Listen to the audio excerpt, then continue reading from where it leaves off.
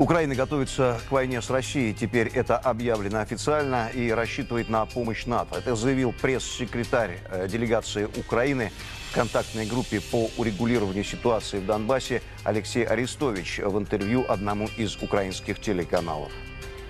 Начались масштабные учения НАТО, которые называются Defense Europe 2021. Это переводится «Защити, Европу». Их смысл какой? Что на акватории от Балтийского до Черного морей а, отрабатывается, ну давайте прямым текстом, война с Россией, тема противостояния с Россией вооруженного. Основной фокус — это Балканы и Крым, и, естественно, все, что севернее Крыма, этих учений. Это открытые источники, никто не скрывает. Активная фаза май-июнь этих учений, а сейчас уже пошла подготовка, развертывание сил, логистика, переброска, что тоже являются элементами учений.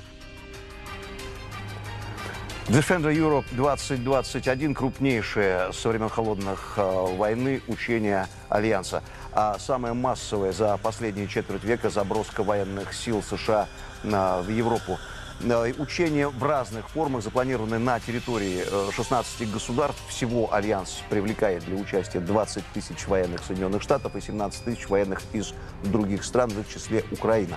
Но это не единственный маневр НАТО, в которых примет э, участие Киев. Более тысячи военнослужащих ВСУ примут участие в совместных с Великобританией учениях «Козак Мейс», а, дословно «казачья палица». Дмитрий Песков назвал наращивание сил ВСУ на линии соприкосновения в Донбассе весьма пугающим. Пресс-секретарь президента России заявил, что а, постановка вопроса о том, что наша страна является противником, неуместна и неприемлема, но Москва будет реагировать на потенциально опасные действия соседей. Безусловно, такое развитие сценария привело бы к дальнейшему что напряженности вблизи российских границ. Конечно, это потребует дополнительных мер от российской стороны по обеспечению ее безопасности. Э, если не пугающий, то тревожно видеть э, вот такие истории с бесконечными эшелонами военной техники с обеих сторон границы, которые на этой неделе заполнили социальные сети. В российском Министерстве обороны утверждает, что с его стороны э, передислокация плановая и проходит в рамках учебной подготовки Южного военного округа. К тому же перемещение российских войск по своей территории не должно никого волновать, так считает уже Дмитрий Песков.